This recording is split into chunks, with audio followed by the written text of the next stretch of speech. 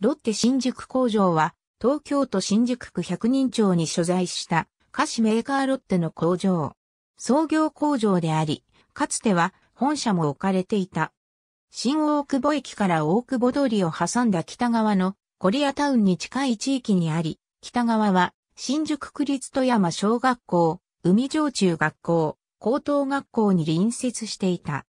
山手線と西武新宿線の線路に並行した南北に細長い敷地形状で工場の屋上には線路に向けてチューインガムロッテチョコレートと書かれた大型看板が設置されており、電車内からも看板がよく見えた。創業工場としてロッテの企業成長を支えた工場であり、雇用が生まれたことで新大久保のコリアタウンが拡大する契機ともなった。工場見学は新宿区立小学校の社会科見学の定番コースであった。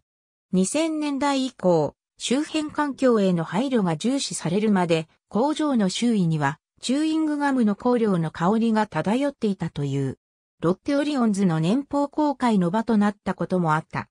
長らく、チューイングガムを製造していたが、首都圏の生産拠点の再編により2011年から生産ラインが狭山工場へ順次移管され、2013年3月末で商品の生産を終了し、同年7月に閉鎖された。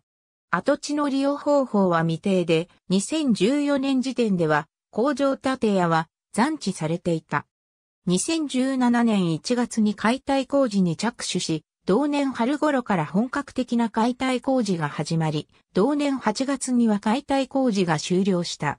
跡地には2019年1月12日に住宅展示場、ハウジングステージ新宿がオープンした。ありがとうございます。